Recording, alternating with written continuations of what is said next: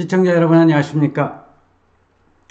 우리가 땅을 투자하다 보면은 강남의 복부인 스타일은 단순하게 토지를 사서 거기에 대한 가격이 상승을 하면은 거기에 대한 양도 차익분을 우리가 투자로 생각해서 돈을 버는 방법을 생각하는 것이 가장 또 원시적인 그런 투자 방법이라고 이야기할 수가 있겠습니다. 오늘은 2020년 11월이 시작이 되었습니다. 그래서 토지 투자에 있어서 강남의 복부인 스타일이 아닌 좀 더 우리가 투자를 할 때에 투자를 할 때에 어, 효용성 있게 토지의 효율성을 우리의 입각해서 토지 분할 또는 토지 합병이라는 게 있습니다. 넓은 땅을 사가지고 그것을 분할을 해서 매각을 한다고 한다면은 그만큼 수익이 많이 그 챙길 수가 있는 그러한 전문적인 토지 분할에 대해서 여러분들에게 설명을 드릴 수 있도록 하겠습니다. 자, 우리 어, 땅을 투자함에 있어서 어떠한 큰 땅을 나누어서 토지 분할이라는 기술로 포장을 하라는 그러한 주제로 오늘 말씀드릴 수 있도록 하겠습니다.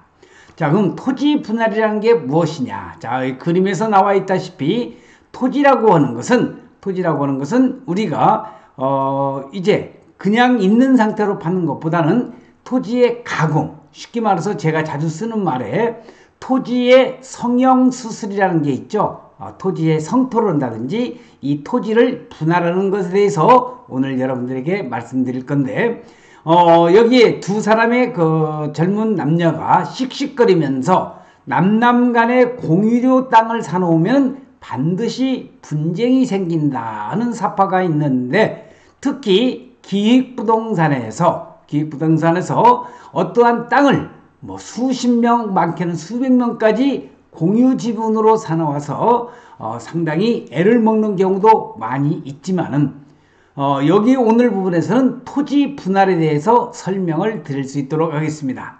사전적인 의미로 지적 공부에 등록된 한 필지를 두 개, 세 개, 네 개 필지 이상으로 나누어 등록하는 토지 분할입니다.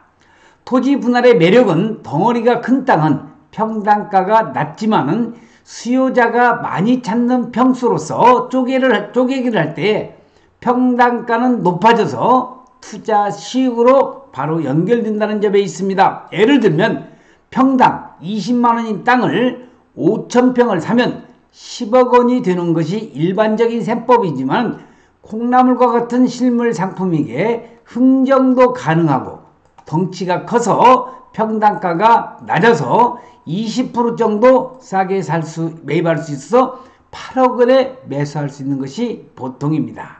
자, 나 땅입니다.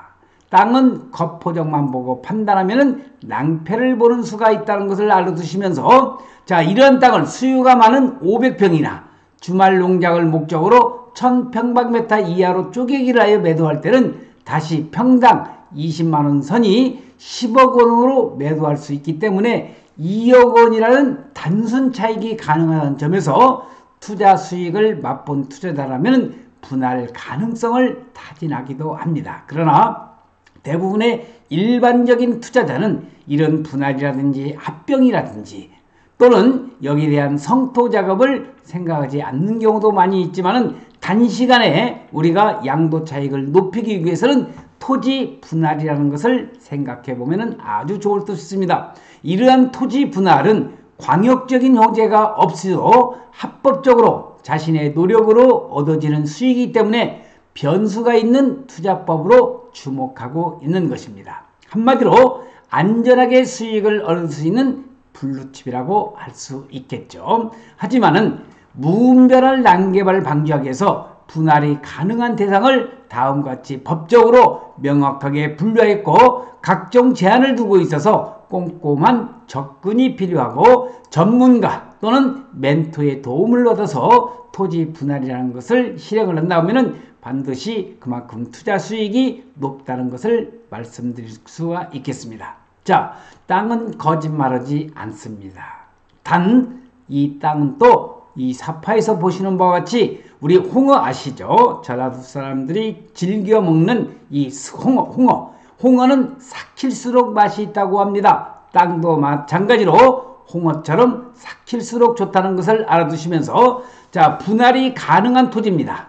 한 필지 일부가 지목이 다르게 된 때 소유권이 공유로 되어 있는 토지 소유자가 분할에 합의하거나 토지거래 허가구에서 토지거래 허가가 된 경우 토지의 일부를 매수하기 위하여 매매계약 체결 등으로 인하여 한 필지의 일부가 소유자가 다르게 된 때 분할의 주된 지목의 사용 목적에 적합하게 토지 소유자가 매매 등을 위하여 필요하는 때 토지 이용상 불합리한 지상 경계를 시정하기 위한 때 하나여 분할이 가능하도록 하고 있습니다.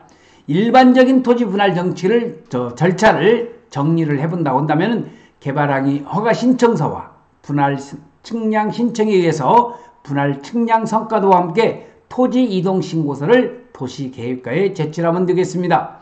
분할을 하기 위해서는 분할 측량을 실시하고 소관청이 정확한 여부를 검사한 후에 발급한 측량 성과도 및 신청서를 바탕으로 하여 토지 표지 사항을 우리가 정리하고 소유권 표시 사항은 분할 전에 대장에 등록된 사항을 새로이 작성하는 대장에 옮겨 등록을 하면 되겠습니다. 자, 그래서 이러한 절차가 일반인한테는 좀 어려울지는 모르겠지만 전문가의 도움을 받는다고 한다면 그렇게 어렵지 않는 것이라는 것을 말씀드리고 싶습니다.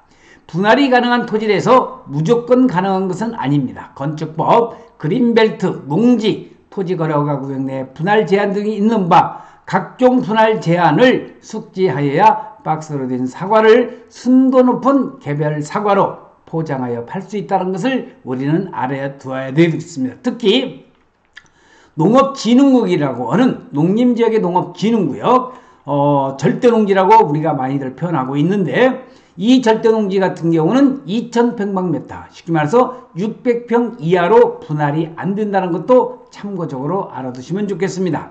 땅 투자는 언제라도 매매가 가능한 상품을 대상으로 투자를 해야 된다는 그림과 같이 자 토지거래 계약에 허가를 요하지 않은 토지의 면적 등 이용하는 법률이 국계법에 나와 있는데 자 여기 나와 있는 국계법에 나와 있는 내용이 여러 가지가 있지만은 이 내용을 다 설명한다면 지루하기도 하고 또 여러분들께서 이러한 내용까지 다 아실 필요는 없다는 것을 말씀을 드리면서 화면에서 나와 있는 방법과 같이 이런 내용을 한번 여러분들이 눈으로 한번 보시고 전문가와 멘토의 도움을 필요로 한다고 한다면 여러분들 투자에는 일반적인 투자보다도 다른 투자자에 비해서 훨씬 더 어, 투자 수익을 많이 할 수 있는 토지 분할에 대해서 여러분들 말씀드리고 있습니다. 자, 개별 등기가 가능하고 도로와 인접하여 개발이 가능하다면 소액 투자로서 접근이 용이한 투자처라고 할 수 있습니다. 실물 자산으로서 땅, 흥정도 가능하고 분할, 쪼개기도 가능하여 얼마든지 맛 좋은 사과로 둔갑할 수 있기 때문이죠. 원자재로서의 토지, 땅이라고 하는 것은 토지 분할이라는 기술로 가공하여 보기 좋게 만들 수 있다고 한다면 최상의 수익을 얻을 수가 있다는 걸 여러분들에게 말씀드리고 싶습니다. 자, 재테크의 8할인 땅 투자, 합법적인 토지 리모델링인 오늘 말씀드린 토지 분할을 통하여 성공 투자로 거듭나기를 기대해 봅니다. 자, 땅을 샀을 때 측량하고 경계 말뚝을 사는 것은 말뚝을 박는 것은 땅 투자의 기본이라는 것을 말씀을 드리면서 오늘 여러분들에게 땅 투자를 할 때에 아까 말씀드렸다시피 토지 분할이라는 그러한 기술로 포장을 해서 땅을 투자한다고 하면은 그만큼 토지 투자의 수익을 극대화시킬 수 있다. 그래서 오늘 2020년 11월 2일에 토지 분할이라는 기술로 포장을 해서 땅 투자를 한다고 한다면은 그만큼 그 다른 투자보다도 더 많은 수익을 올릴 수 있다는 것을 말씀을 드리면서 김영선 박사의 부동산 투자 연구소 오늘은 토지 분할에 관련된 내용을 여러분들에게 말씀드렸습니다. 시청해주신 여러분 대단히 고맙습니다. 감사합니다.